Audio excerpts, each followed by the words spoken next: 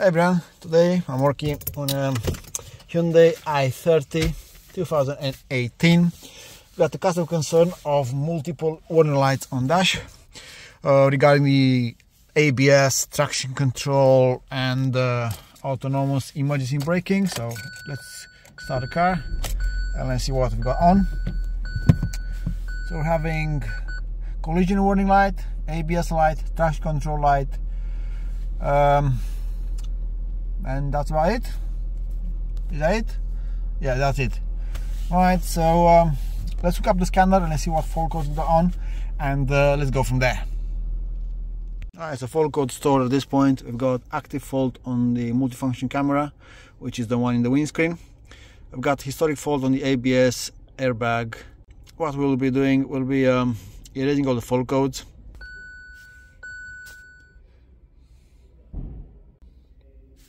right and let's uh, turn ignition off.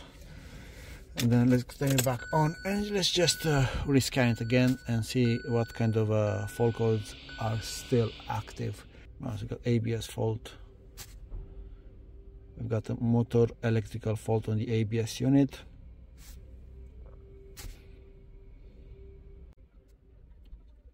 Right, so as you can see we have left the ABS motor electrical which is a historic fault code. So let's go back. Let's go to live data. And let's have a look at some uh, information. All right ABS let's have a look in here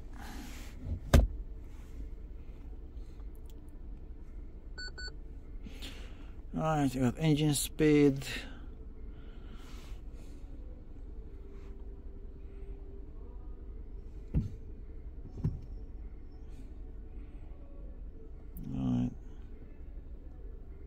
Let's see if the wheel speed sensor all working as they should.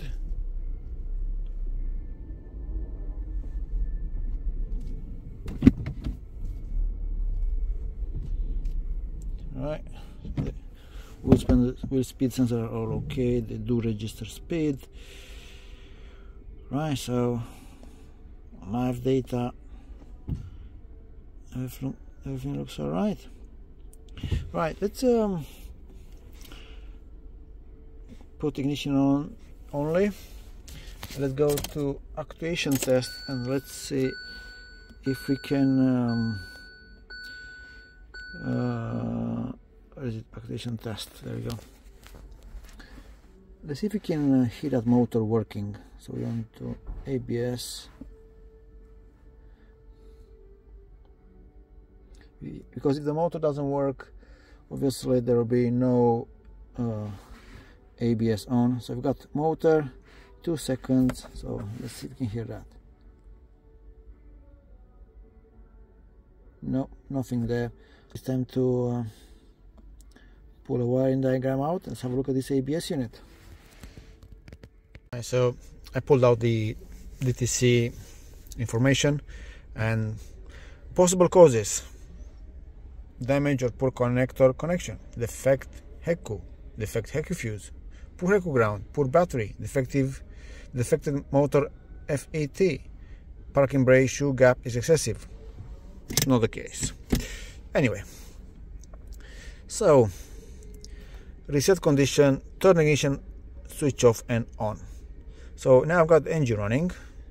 So if I'm gonna go back to my diagnosis,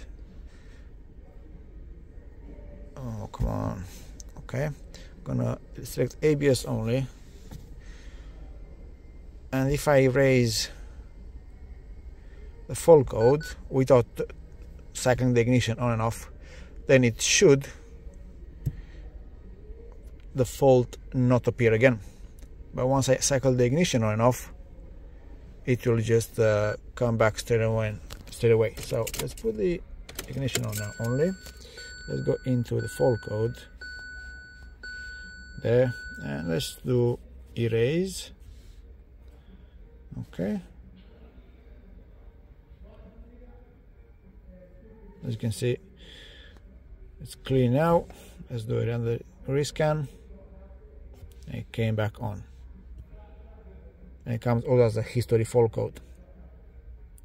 So we need to pull that wire diagram out. Okay so here's the wire diagram. And you can see here we've got our uh, two fuses 40 amp which gonna feed the uh, FET here in the motor. And we've got our 30 amp fuse is gonna fit the uh, valves. And then we've got the ignition on fuse here which is a 10 amp fuse. And we've got our two grounds there. So if we go into connector now we can see there we got pin 13 and 38 which are both grounds. 1 and 25 which are uh, continuous um, power supply. And the pin 32 which is oh this is spelled wrong 23 but this is 32 because 43 42 and 41 and we should have ignition on power supply there and if you remember in the fault code uh, possible causes there says the way this unit will know if the fault uh, is there is by measuring the voltage coming here. So if, this MOSFET will not work there will be no voltage output here. So let's go to the car now and let's check the voltage here here here and obviously the ground if that they're all okay Right, we're back in the car now. My phone went a bit uh, berserk, but anyway, we'll skip that. So we got the connector out here. I put in my two trusty bulbs, 21 watts, and uh, I've got the yellow wire on the valve power supply. I've got the red wire on the motor supply, and this white white here with a specific pin, it is on the ignition on. So if I'm gonna put the ground on both them the both bulbs should light up very bright so let's see that. So that's very bright. And the other ground see there I'm switching ground and the bulbs are lighting uh, very bright which is great. And now I'm gonna take both bulbs out. I'm gonna put ground in there and uh, with ignition on I'm gonna see if I got power supply here as well. And as you can see I've got power supply there as well and I'm happy to say that both uh, ground uh, supplies are okay. So I can't say there's any fault in the wiring. Obviously I can check the uh, network but I'm not uh, concerned about network because I can communicate with the module. I can see live data in it. So I know there's good communication there. So there's no point uh, wasting time on that. So at this point I can only say that this unit here the motor or the MOSFETs are gone and it will require uh, a new unit to be fitted, coded, and then uh, retest. So uh, I'll do that now, and then I'll come back with the video with the uh, final results. Right, so we've got the new ABS unit, just came, very simple to fit. Only got four pipes and two on the side here. So make sure you you match the pipes. You can see there, rear left, rear right, front left, and uh, front right, and obviously the two pipes coming there very easy to fit, nothing complicated, so I'm not going to worry about making a video about how to fit this one. And the most important thing you need to do before taking off the old one, you have to go, if you still can communicate with it, obviously, but in our case we can.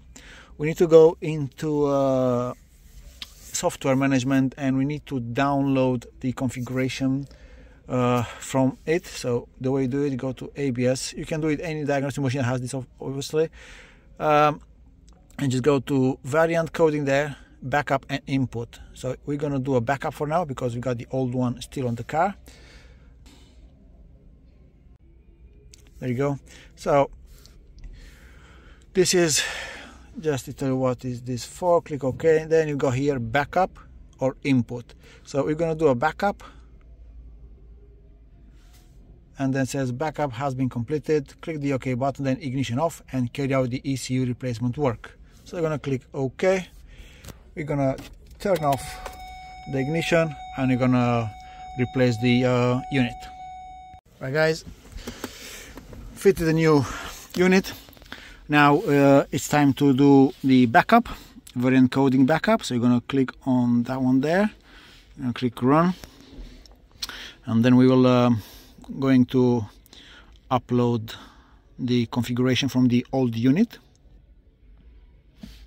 All right okay and then we got input here. Click on that one. It says the function has been completed. Turn ignition off for wait for two seconds and then turn ignition back on. So we're to turn ignition off now. And uh, we will be waiting for uh, 20 seconds. Also this will this will not be uh, the only thing we need to do. We're to have to calibrate the um, G sensor axis and everything. Uh, you don't have to remember any of this because once you're going to scan for fault codes it will uh, actually tell you. I'll show you in a second. It's way easier like that than uh, trying to remember all the steps. So let's say 20 seconds have passed. Let's put ignition on. Let's click ok. Right that's all done. So if we go now to uh, fault code scan. Wait for the scan to finish.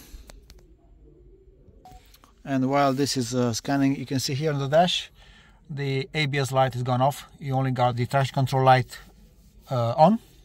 That's because obviously you're gonna have to calibrate the uh, sensors. But as you can see ABS lights already gone off. So let's uh, let this to finish and um, we'll I'll show you how, what's next. Uh, scan is complete. So as you can see we've got 12 fault codes now but don't worry about that. That's normal because all this system requires some sensors. So if you click on the ABS now uh, on the fault codes you have some active fault codes there. So we got the longitudinal G sensor not calibrated. So that needs to be done uh, now. So we're going to go back to our software management. Again you can do this with any kind of tablet. I have the luck to have access to a genuine tablet but you can do it with launch with um, Topdon snap on whatever. So we're going to click on ABS ESP here again and we've got longitudinal G sensor calibration. So we're going to click on that one. Obviously have your engine off so you need to switch on. Uh, steering wheel needs to be straight tires pressure everything. So should, the figure should be basically straight. Just don't move in the car just click run. It'll take a, just a few seconds. And once that is done we'll uh, erase the fault codes and everything should be nice and clear right? So this is the condition that needs to be um, uh, met in order for this to work. We already done them all so let's click ok. As you can see there complete. Turn ignition off for 10 seconds and then back on. So let's turn ignition off. Let's take the keys out so it doesn't oh my god so noiseless. Anyway right 10 seconds we got five now and then we'll uh, see what what lights we got on the dash. So let's put ignition on now and let's see what's left. As you can see no more ABS light no more um, traction control light. So let's click OK here. All right that's all done. So now let's go back to our fault code search. Let's do the same fault code again and everything should just go uh, straight to uh, history fault codes. I'm going to scan all the system again because I like to, to make sure none of it have any fault codes. Right fault code complete. So let's see. Everything here should be in uh, history so I'm going to click on the 12 fault codes there and you can see all of them are historic fault codes so we'll go back. We'll erase everything. That should take about probably 10-15 seconds.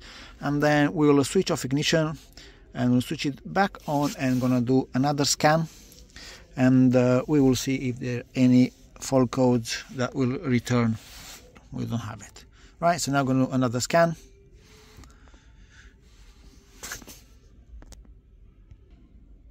and as you can see I've got no more fault codes present. Zero DTCs so that is great. So now I'm gonna cycle ignition on and off and uh, I will waiting about 20 seconds and then I'm gonna put ignition on and I will uh, scan it again. As uh, I wanted to see if any fault codes are active and now it's gonna be initial uh, component check while cycling ignition and off on the ABS unit and all the others. So everything gonna be all right I'm happy to say that so everything is good so let's put ignition on now and let's do another scan. Obviously the E-call and the AF which active air flap this car and uh, this car doesn't have them it's not fitted on this vehicle. So let's rescan it again and let's uh, see what are the results. So as you can see there fault code is gone is completed and there are no fault codes. And also on the dash as you can see there it's all nice and clear so let's start the car and uh, let's see if it stays as it should stay. Beautiful. No more AEB code no more ABS light on no more traction control line. Everything's nice and clean. Right guys? Thank you very much for watching this video. Hope you do found it useful and I will see you on my next video